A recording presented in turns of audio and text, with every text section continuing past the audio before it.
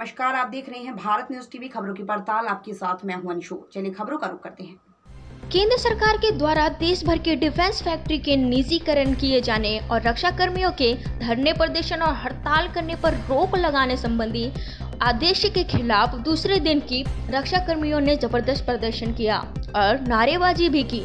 Defence appliance यूनियनों के संयुक्त मोर्चे के द्वारा यह विरोध प्रदर्शन किया जा रहा है। विरोध प्रदर्शन के दूसरे दिन ऑडियंस फैक्ट्री के गेट के सामने सभी यूनियनों के पदाधिकारी जमा हुए और उसके बाद उन्होंने केंद्र सरकार के खिलाफ जमकर नारेबाजी की और प्रदर्शन किया।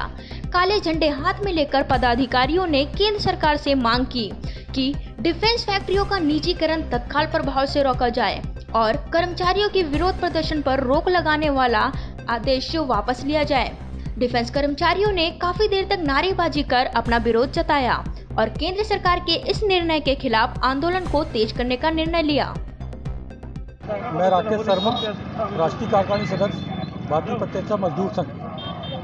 केंद्र सरकार ने जो कर्मचारियों के ऊपर ईडीओ से लागू किया रक्षा सेवाएँ, अधिनियम, इसके विरोध में अखिल भारतीय स्तर पर समस्त ट्रेड यूनियन कल से विरोध सप्ताह मना रही है और सरकार एक तरफ़ बोलती है कि हम कर्मचारियों की सेवाओं पे कोई प्रतिबंध नहीं लगाएँगे, जो सर्विस कंडीशन है, वो सेम रहेंगी। लेकिन हम, हमारी union Bharatiya Pratyaksh Mazdoor Sangh A I D F I N D W F का कहना ये है कि जब आप सर्विस कंडीशन वही रखेंगे तो आप निगमीकरण क्यों कर रहे हैं? एक तरफ़ आप बोलते हैं, हम कर्मचारियों के साथ कोई कुठाराघात नहीं करेंगे। और अंदर ही अंदर आप निगमीकरण कर दिया 16 जून को निगमीकरण घोषित कर दिया।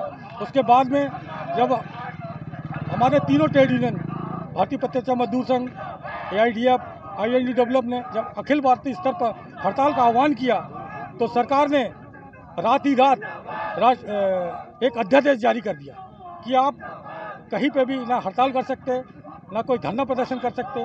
हम इसका सख्त विरोध करते हैं।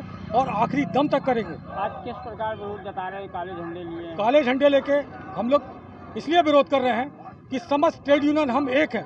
हम कर्मचारी हैं हमारी जात हमारा धर्म एक है और हम सब एक है। झंडा झंडा छोड़ के हम लोग हमारी निर्माणी को बचाने का कार्य कर रहे हैं और आखिरी दम तक करते रहेंगे। धन्यवाद। जय हिंद। नाम और मैं राकेश शर्मा राष्ट्रीय कार्यकारिणी सदस्य भारतीय प्रत्यक्ष मजदूर संघ।